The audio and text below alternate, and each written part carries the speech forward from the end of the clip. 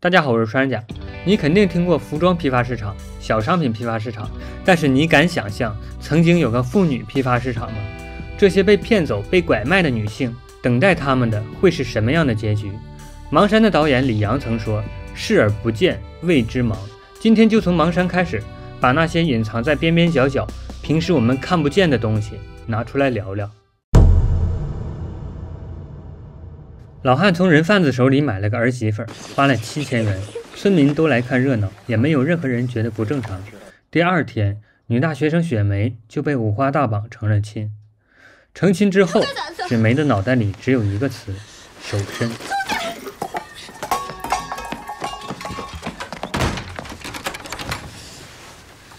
他的什么让你上床？啊，不交费，不交费就收拾他。男人几次三番的求欢没能成功，村民的讽刺又让男人感觉丢脸，他终于爆发了。某个黑夜，老汉和老妇牢牢地控制住雪梅的手脚，男人就当着父母的面撕碎了雪梅的衣服和她的幻想。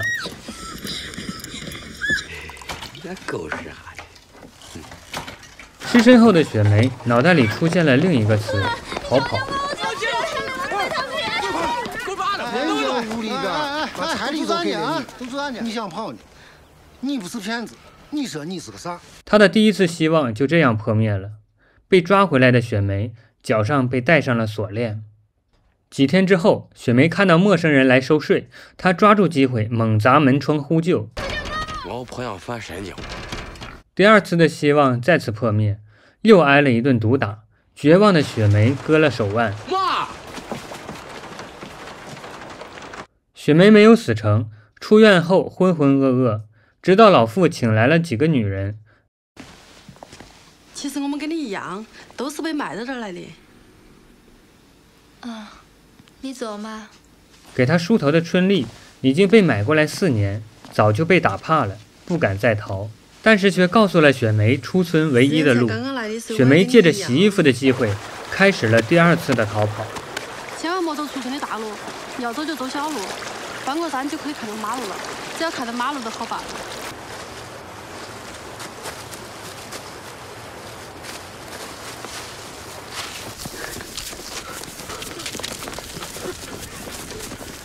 慌慌张张的雪梅顺着山路一直走，但是因为没有钱，没有车拉她去更远的镇里。没有钱，没有钱不行，人家都五块钱。很快就被抓了回去，又当众被打晕了过去。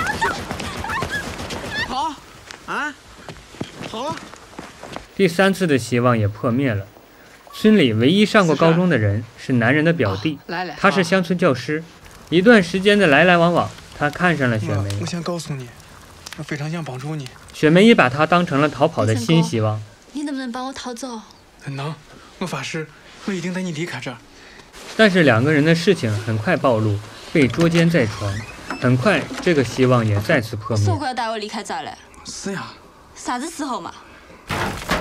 狗屎！哎呀，哎呀，你不要打了！你个骚货，你这！总结了上一次的经验，他想逃跑的首要条件是钱，有了钱就可以搭车到镇里，再买车票去县里。但是雪梅什么都没有，只有身体。最终，他从超市老板那借到了四十元钱。大哥，你能不能借我一点钱？你一分钱也没有，拿啥还我的？你想让我拿啥子还给你？你看四十行不行？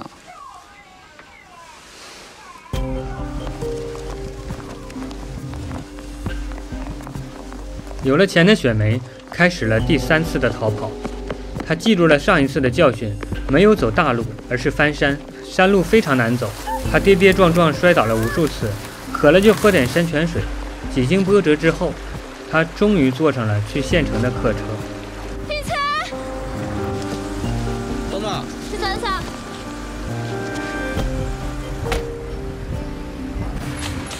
师傅，师傅，师傅，求求你了，不要开门！师傅，求求你了，千万不要开门，不然我就没命了！师傅，那把门打开。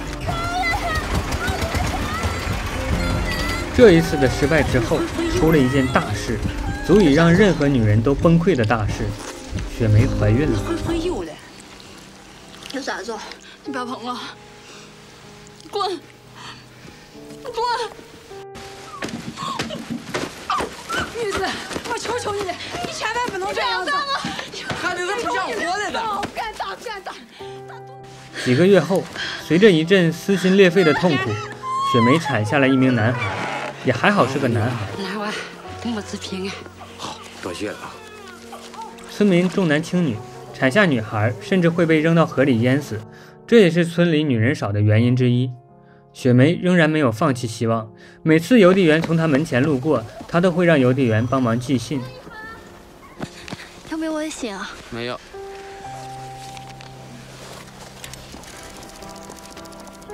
再帮我寄一封。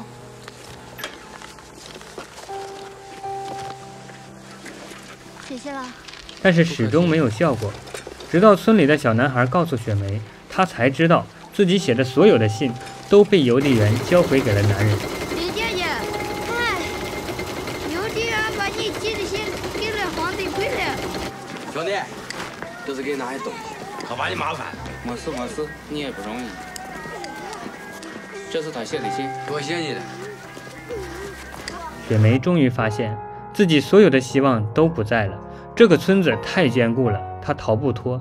而这时，这个小男孩却说了一句话：“你不要伤心，我去给你寄信。”小男孩的帮助确实起了作用。警察带着父亲来的那一刻，雪梅说的第一句话是：“你咋才来哦。”他终于活着等到了这一刻，终于要变回正常的年轻人。雪梅舍不得自己的孩子，耽误了一些逃离的时间。当警车正要离开的时候，村民像洪水一样从四周涌来，堵住了去路。求求你了，先回家啊！娃儿以后再说啊！赶紧，你老婆让警察带走了。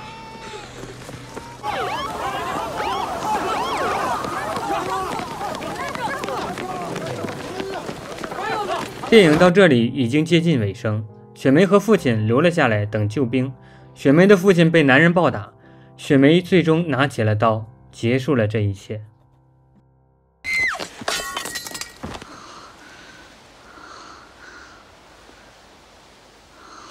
盲山是由真实事件改编，电影的结局骤然、惊人、强烈。导演李阳电脑旁压着一张记满数据的纸，其中一条是1991到1995年，官方公布获解救的被拐女性为8万零555人。1999年9月，广东省高院刑事庭的一场审判，最终引出了李阳创作的《盲山》。被告席上的王秀英，在1994年被骗到广东罗定农村，卖给49岁的农民郭美男做老婆。郭美男在兄嫂的帮助下强暴了她。后来，王秀英怀孕产子，却仍要忍受兄嫂的辱骂和丈夫的殴打。最终，王秀英把一杯硫酸泼向了兄嫂的两个孩子，并伤到了五个无辜的小学生。王秀英最终被判死缓。这就是《盲山》的故事原型。《盲山》在陕南一个山村拍摄，电影中给雪梅梳头的演员本身就是当地村民，并且她就是被骗嫁到村里的，才二十岁就已经是两个孩子的妈。李阳说，电影重点不是如何被骗，而是为什么逃不出去。几乎所有旁人都对雪梅的命运漠然无视。收税的人看到她在呼救，却跟男人说要打她才会老实。媳妇儿都十多年，光舍不顶秋用。雪梅逃到公路上，司机却因为她没有几块钱，扬长而去。熟视无睹，谓之盲。盲这个字是王和目。是眼睛死掉了，而不是瞎掉了。我曾经做过一期制毒第一村的视频，而现在要提到的是拐卖妇女第一村。两千年的时候，在江苏泗阳的江集村有专门买卖妇女的市场，叫苏北人口批发市场。带头的人叫郑红仙，他第一次参与买卖妇女只赚了五十元，却让他尝到了甜头。于是他带领全村人试图靠拐卖妇女发家致富。他们到云贵川等地收购妇女，诱骗回江集村，再进行交易。高峰时期，一天卖六个妇女。全村一百多户人家，只有两家没有参与，一个是教师，一个是开商店的。这起案件也被检察日报列为拐卖妇女十大奇案。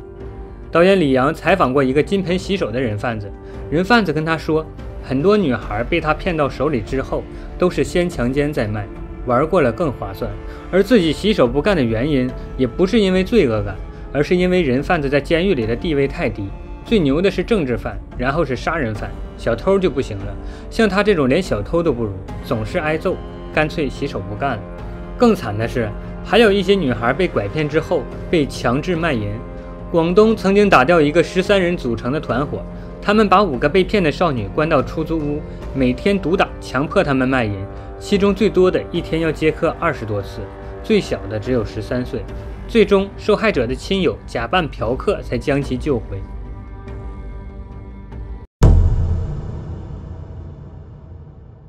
有网友评论最近发生的一件事，说举国的关注度都不一定救得了一个被铁链拴住的女人。而二月十日，徐州官方公布，八个孩子的爸爸等三人涉嫌非法拘禁和拐卖妇女。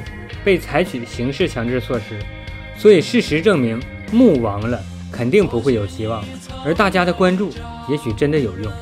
前几天在网上看到了导演李阳的朋友圈，他说为了打击买卖妇女的罪恶，欢迎大家转发和观看《盲山》，于是就有了这期内容，并且李阳导演很有才华，《盲山》的剪接、制片人、编剧、导演都是他。除了《盲山》之外，他还拍过一部王宝强主演的《盲井》，讲述故意制造矿难、谋财害命的故事。一样震撼。这期看的人多的话，我会再做一期盲井。感谢大家的观看，今儿就到这，我是川家，我们下期见。